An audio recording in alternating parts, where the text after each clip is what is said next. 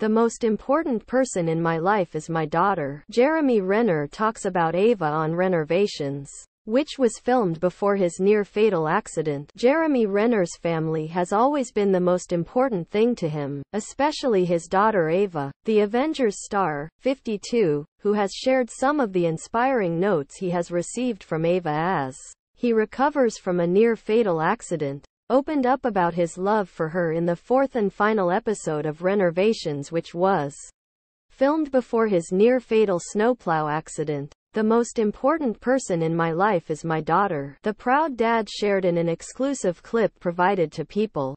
He shares Ava with his ex-wife, Sonni Pacheco, 32. She makes me the best version of me, he continued. She inspires me to be better. The two-time Oscar nominee and his crew had traveled to India for the segment that debuts. Wednesday, May 3. Their mission was to turn a delivery truck into a mobile water treatment facility for UVA. Jagriti Sansthan, a nonprofit organization working to deliver clean, drinkable water to communities across the country. My time in India was an experience I'll never forget, the handyman shared on Instagram next to a clip from the show. The actor's mission. Impossible co-star, Anil Kapoor, 66, joined the project. While there, the Hurt Locker star and his best friend, Rory Millikin, took time out to play some cricket and hopscotch with some of the local kids. In the first three episodes of Rennervations, Jeremy and his team turned a bus into a mobile music studio, and another bus into a mobile dance studio in Los Cabos, Mexico and built a mobile recreation center in Reno, Nevada. His fans have been eagerly awaiting the next episode. Finally, we have been checking every day for new episodes.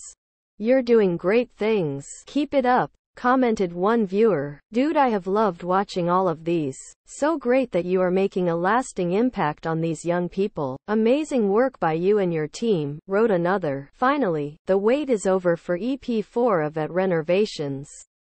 Penned one viewer who seemed to speak for many of the Arrival Stars fans. I'm so excited to see what you did to help people. Thanks for all you've done. I still pray daily for you. Jeremy had healed enough from the New Year's Day snowplow accident that nearly claimed his life to attend the show's premiere April 11th, and Ava, 10, was right by his side, along with other members of his extended family. Speaking to CNN on the red carpet, the town star explained, It feels weird, wonderful, weird. I never thought I'd have dreams as a 52 year old man still, he continued. I feel like I kind of did them. But wow, it's nice to have things come true for yourself. There's more wonderment still to be had. And I feel very grateful to be here to continue finding that wonderment.